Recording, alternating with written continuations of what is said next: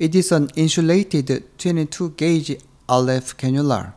I'm going to put these two needles side by side. Like this, I will squeeze the nerve root by two electrodes. Hello, I'm Dr. Lee. Welcome to Practical Pain Management. Today, I'll talk about pulsed radio frequency and ultrasound guided application for cervical radicular pain. How do I put my patient's position? I let my patient's oblique supine position. What do I need? I need a sterile ultrasound probe and ultrasound machine, radio frequency generator, and two sets of electrodes and cannulas. It is a connecting cable. I let my staff connect one end to the RF generator and stabilize proximal part by myself. I need two connecting cables because I prefer bipolar PRF for chronic cervical radicular pain relief. It is an electrode. I connect it with a cable. I'm going to anesthetize the skin before RF needle insertion.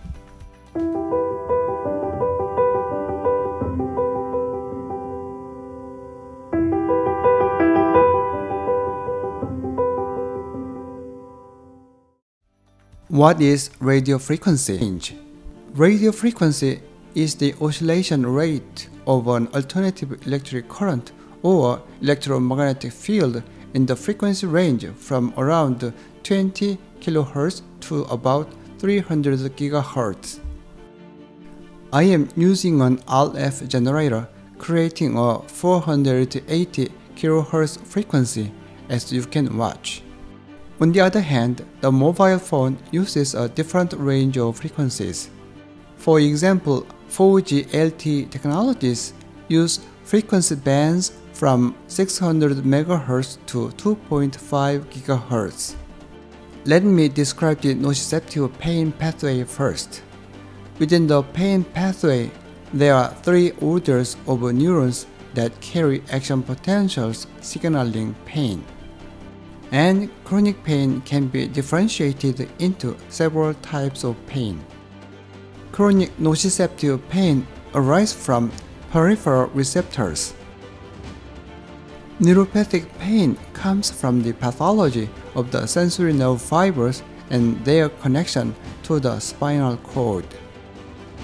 Until now, central pain and psychogenic pain is not the area of interventional pain procedure. Nociceptive pain and neuropathic pain are the indications of radiofrequency treatment. The radiofrequency ablation treatment has been proved well as an effective chronic nociceptive pain. Pulsed radiofrequency has been adopted as a chronic neuropathic pain remedy. Conventional radiofrequency is most used in the nociceptive pain, such as medial branch neurotomy. Pulsed radiofrequency is almost used in neuropathic pain, such as chronic radicular pain. for 42 Celsius without producing neural injury. Let's go back to my patient. My target will be the right C6 and C7 nerve roots. I am anesthetizing the skin under ultrasound guidance.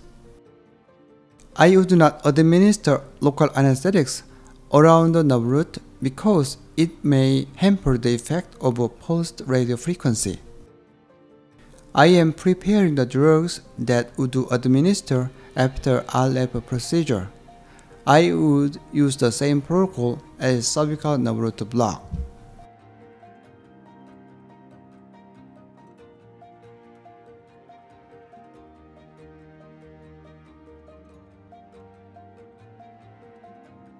If you did not watch these videos, please review them.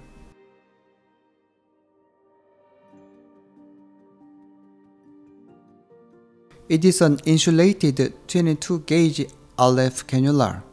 I'm going to put these two needles side by side. Like this, I will squeeze the nerve root by two electrodes. First, I'm going to introduce the RF cannula needle. As you are watching, the soft tissue does not allow the RF needle to pass freely. I put the first RF needle on the superficial side of the nerve root.